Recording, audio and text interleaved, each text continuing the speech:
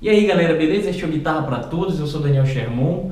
Hoje eu quero falar sobre o projeto do Guitarra para Todos de um vídeo por dia.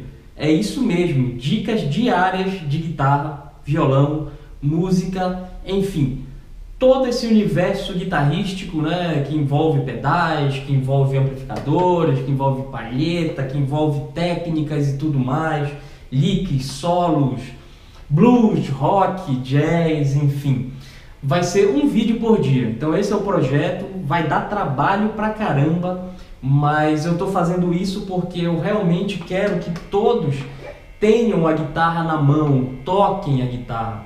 E obviamente que isso vai fazer com que a tua é, é, é, percepção da guitarra a tua, o teu entendimento da guitarra melhore assim, tipo mil por cento, né? Então essa é a ideia, tá? Um vídeo por dia durante um ano. Então eu acho que isso vai ser bem bacana para o canal, vai ser bacana para ti. E eu espero que vocês compartilhem essa ideia, espalhem mesmo no Facebook, no Instagram, no Twitter, enfim, todas as redes sociais e no próprio YouTube, enfim.